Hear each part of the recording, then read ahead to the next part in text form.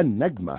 هند صبري تتحدث لأول مرة عن أخبار الحب والزواج وكلام صريح جدا في الفن والحياة. هند صبري مع محمود سعد في البيت بيتك انتظرونا.